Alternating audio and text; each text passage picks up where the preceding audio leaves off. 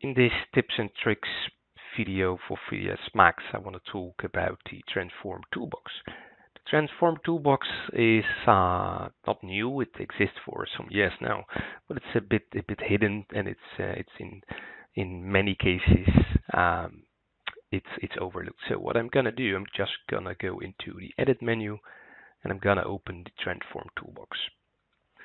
So in the Transform toolbox, you do have tools available for rotation, scaling, uh, aligning your pivot, and cloning your object. So um, rotation is fairly simple. The only thing you need to do is just make a selection.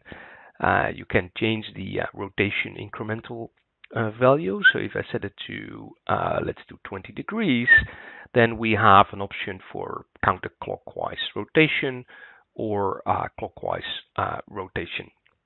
Um, so that's that's fairly fairly simple uh, for rotating rotating your object, right?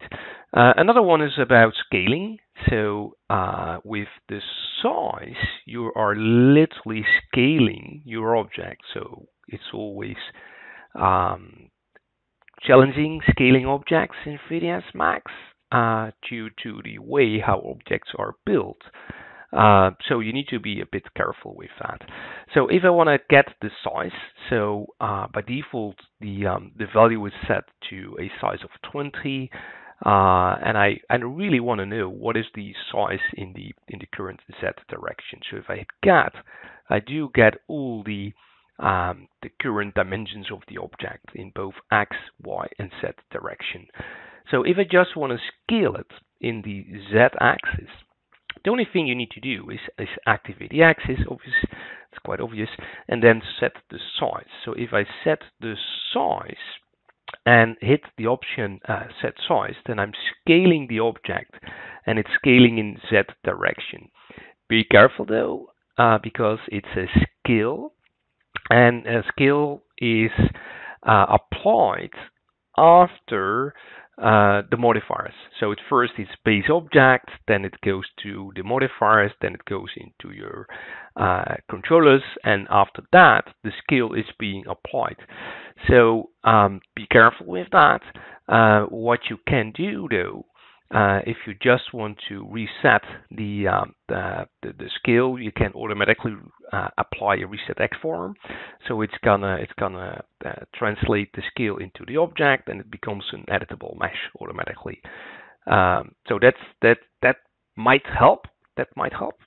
Uh, another one option, which is also very nice, is the pivot point alignment.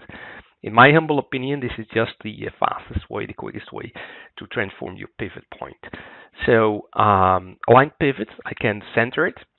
And as obvious, it's centering my pivot point. I can set it to the origin, so it's gonna go into a world um, uh, uh, coordinate space, so uh, zero zero zero, or I can just start aligning it in one of the axes.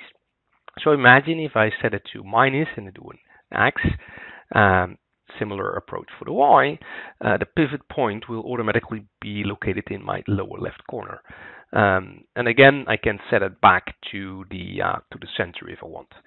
Um, also, another interesting option is cloning the object. So if I select an object, if I do a Q clone, I'm just copying, cloning the object um, based on the viewport. So what I mean by that that is if I go into a front viewport, so let me go into front, um, and if I start cloning now, I'm cloning in this direction, okay?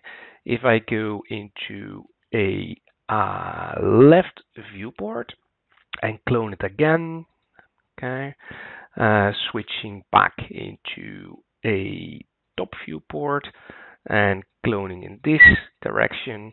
And if I now go back into my perspective and let me activate the home position of my grid. Um, so this is what's happening. So based on the on the view itself, you're cloning the object. So quite nice. Um, in in many cases, the transform toolbox has forgotten by many people, is overlooked. Um, again, it's available in the um, in the edit uh, menu of the uh, 3ds Max menu bar. uh, and it helps a lot, uh, especially when when relocating your your pivot point. Um, instead of going into the hierarchy tab and affecting your pivot, this is a very very fast approach uh, for different uh, transformations.